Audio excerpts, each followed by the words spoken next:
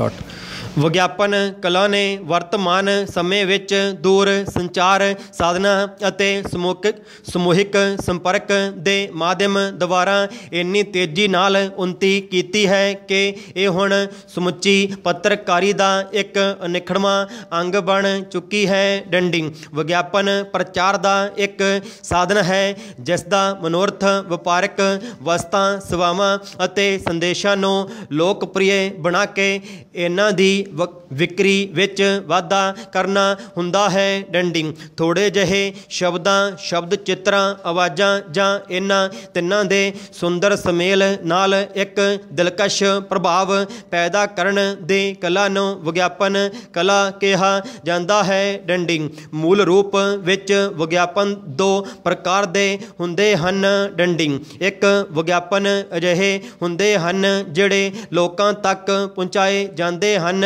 ਅਤੇ ਦੂਜੇ ਜਿਹੜੇ ਵਿਕਰੀ ਵਾਲੀ ਥਾਂ ਉੱਤੇ ਹੀ ਹੁੰਦੇ ਹਨ ਡੰਡਿੰਗ। ਵਿਗਿਆਪਨ ਦੇ ਇਹ ਦੋਵੇਂ ਢੰਗਾਂ ਨਾਲੋਂ ਢੰਗ ਨਾਲੋਂ ਨਾਲ ਵਰਤੇ ਜਾਂਦੇ ਹਨ ਡੰਡਿੰਗ। ਪਹਿਲੀ ਪ੍ਰਕਾਰ ਦੇ ਵਿਗਿਆਪਨ ਨੂੰ ਸੰਪਰਕ ਵਿਗਿਆਪਨ ਤੇ ਦੂਜੀ ਪ੍ਰਕਾਰ ਦੇ ਵਿਗਿਆਪਨ ਨੂੰ ਵਿਕਰੀ ਕੇਂਦਰ ਵਿਗਿਆਪਨ ਕਿਹਾ ਜਾ ਸਕਦਾ ਹੈ ਡੰਡਿੰਗ। ਵਿਗਿਆਪਨ ਦੀ ਕਲਾ ਦਾ ਕਮਾਲ ਦੋਵੇਂ ਪ੍ਰਕਾਰ ਦੇ ਵਿਗਿਆਪਨਾਂ ਦੀ ਸਜੀਵ ਸਿਰਜਣਾ ਕਰਨ ਵਿੱਚ ਹੁੰਦਾ ਹੈ ਡੰਡਿੰਗ। ਜਦ ਕੋਈ ਵਿਅਕਤੀ ਕਿਸੇ ਵਿਸ਼ੇਸ਼ ਕੰਪਨੀ ਦੀ ਚੀਜ਼ ਖਰੀਦਦਾ ਹੈ ਤਾਂ ਉਸ ਦੇ ਇਸ ਫੈਸਲੇ ਪਿੱਛੇ ਉਸ ਦੇ ਰਿਸ਼ਤੇਦਾਰਾਂ ਜਾਂ ਸੇਲਜ਼ਮੈਨ ਦੀਆਂ ਪ੍ਰੇਰਣਾ ਸ਼ਕਤੀਆਂ ਕੰਮ ਕਰ ਰਹੀਆਂ ਹੁੰਦੀਆਂ ਹਨ ਡੰਡਿੰਗ ਪਰੰਤੂ ਅਖੀਰਲਾ ਸੰਘਰਸ਼ ਖਰੀਦਦਾਰ ਅਤੇ ਵਿਗਿਆਪਨ ਵਿਅਕਤੀ ਵਿਚਕਾਰ ਹੁੰਦਾ ਹੈ ਡੰਡਿੰਗ ਵਿਗਿਆਪਨ ਵਿਅਕਤੀ ਦਾ ਕੰਮ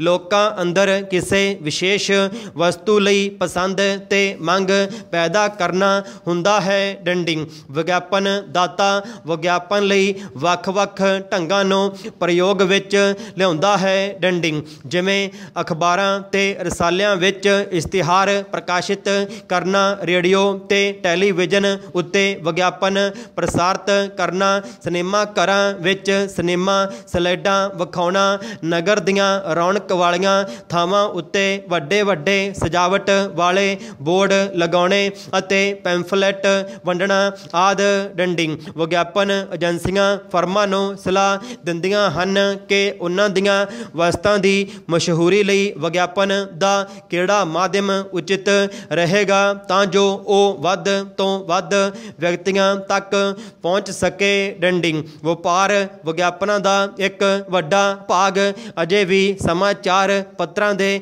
ਹਿੱਸੇ ਹੀ ਆਉਂਦਾ ਹੈ। ਡੰਡਿੰਗ ਪਰ ਰੇਡੀਓ ਤੇ ਟੈਲੀਵਿਜ਼ਨ ਦੀਆਂ ਵਿਗਿਆਪਨ ਸੇਵਾਵਾਂ ਹੁਣ ਬੜੀ ਤੇਜ਼ੀ ਨਾਲ ਲੋਕਪ੍ਰਿਯ ਬਣ ਰਹੀਆਂ ਹਨ ਡੰਡਿੰਗ ਇਸ ਵਿੱਚ ਕੋਈ ਸ਼ੱਕ ਨਹੀਂ ਕਿ ਰੇਡੀਓ ਤੇ ਟੈਲੀਵਿਜ਼ਨ ਉੱਤੇ ਵਿਗਿਆਪਨ ਦੇਣ ਉੱਤੇ ਆਉਂਦਾ ਖਰਚ, ਰੋਜ਼ਾਨਾ ਸਮਾਚਾਰ ਪੱਤਰਾਂ ਵਿੱਚ ਇਸ਼ਤਿਹਾਰ ਪ੍ਰਕਾਸ਼ਿਤ ਕਰਵਾਉਣ ਨਾਲੋਂ ਕਾਫੀ ਜ਼ਿਆਦਾ ਹੁੰਦਾ ਹੈ ਡੰਡਿੰਗ ਫਿਰ ਵੀ ਰੇਡੀਓ ਤੇ ਟੈਲੀਵਿਜ਼ਨ ਸਮੂਹ ਸੰਪਰਕ ਦੇ ਅਤੀ ਆਧੁਨਿਕ ਬਿਜਲੀ ਦੇ ਯੰਤਰ ਹਨ, ਜਿਹੜੇ ਸਭ ਤੋਂ ਵੱਧ ਸ਼ਕਤੀਸ਼ਾਲੀ ਅਤੇ ਵਿਆਪਕ ਪਹੁੰਚ ਵਾਲੇ ਪ੍ਰਚਾਰ ਮਾਧਿਅਮ ਸਿੱਧ ਹੋਏ ਹਨ। ਡੰਡਿੰਗ ਵਿਗਿਆਪਨ ਲਈ ਇਹਨਾਂ ਦੀ ਵਰਤੋਂ ਦਿਨੋਂ ਦਿਨ ਵੱਧ ਵੱਧਦੀ ਜਾ ਰਹੀ ਹੈ। ਡੰਡਿੰਗ ਵੱਡੀਆਂ ਵੱਡੀਆਂ ਫਰਮਾਂ ਆਪਣੇ ਉਤਪਾਦਨ ਤੇ ਸਿਆ- ਸੇਵਾਵਾਂ ਦਾ ਵਿਗਿਆਪਨ, ਰੇਡੀਓ ਤੇ ਟੈਲੀਵਿਜ਼ਨ ਦੁਆਰਾ ਕਰਨਾ ਹੀ ਵਧੇਰੇ ਪਸੰਦ ਕਰਦੀਆਂ ਹਨ। ਡੰਡਿੰਗ ਅਮਰੀਕਾ, ਕੈਨੇਡਾ, ਜਾਪਾਨ ਅਤੇ ਦੂਜੇ ਵਿਕਸਿਤ ਦੇਸ਼ਾਂ ਵਿੱਚ ਤਾਂ ਰੇਡੀਓ ਤੇ ਟੈਲੀਵਿਜ਼ਨ ਦੀ ਵਿਗਿਆਪਨ ਵਰਤੋਂ ਸਮਾਚਾਰ ਪੱਤਰਾਂ ਦੇ ਵਿਗਿਆਪਨ ਜਿੰਨੀ ਹੀ ਹੋ ਰਹੀ ਹੈ ਡੰਡਿੰਗ, ਜਿੱਥੋਂ ਤੱਕ ਸਾਡੇ ਆਪਣੇ ਦੇਸ਼ ਦਾ ਸਬੰਧ ਹੈ, ਸਮੂਹਿਕ ਸੰਪਰਕ ਦਾ ਸਸਤਾ ਅਤੇ ਸਰਵ ਵਿਆਪਕ ਮਾਧਿਅਮ ਰੇਡੀਓ ਹੋਏ ਡੰਡਿੰਗ। ਭਾਰਤ ਵਿੱਚ ਇਸ ਵੇਲੇ 70 ਤੋਂ ਵੱਧ ਰੇਡੀਓ ਸਟੇਸ਼ਨ ਚੱਲ ਰਹੇ ਹਨ ਡੰਡਿੰਗ। ਇਹਨਾਂ ਦੀਆਂ ਆਵਾਜ਼, ਲਹਿਰਾਂ, ਦੂਰੀ ਅਤੇ ਅਨਪੜਤਾ ਦੀਆਂ ਦੀਵਾਰਾਂ ਨੂੰ ਪਾਰ ਕਰਕੇ ਸਾਰੇ ਪਾਸਿਆਂ ਵੱਲ ਅਤੇ ਸਾਰੇ ਲੋਕਾਂ ਤੱਕ ਪਹੁੰਚ ਰਹੀਆਂ ਹਨ। ਡੰਡੀ।